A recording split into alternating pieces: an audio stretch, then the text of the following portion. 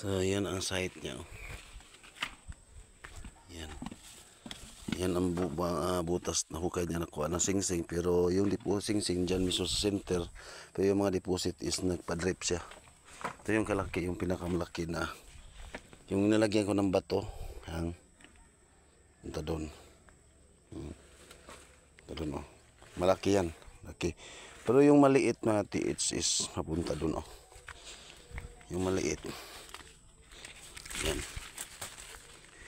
May nagtuturo din dyan na arrowhead mapunta dyan. At saka ito is may nagturo dito din. Sa papunta, arrowhead na papunta sa Black Deposit. Yan, malaki to. No. Yan ang small giveaways or la, medium. Ah, matawag na yan na medium or giveaways. Ang giveaways siguro yung kwintas na nakuha. So medium and large deposit, big deposit. Kini.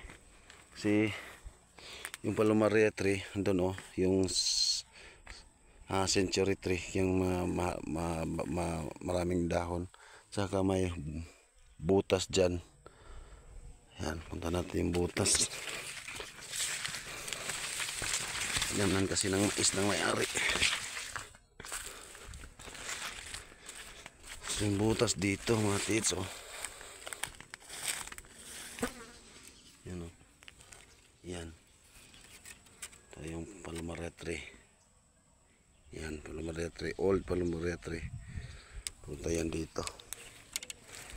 Kasi pag magkumpas tayo dito mga tits, sa Palmaria tree sa landmark nila is ah ito is naka west yata to.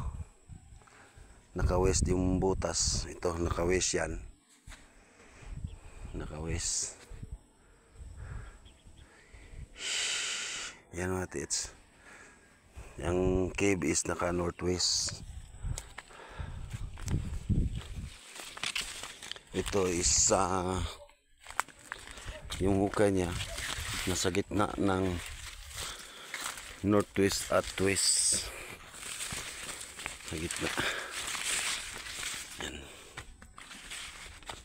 Mm. malaking deposito. Yan oh